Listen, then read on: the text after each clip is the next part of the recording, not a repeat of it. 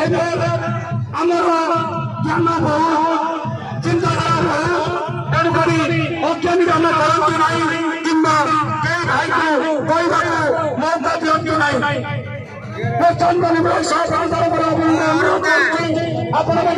নিজ নিজের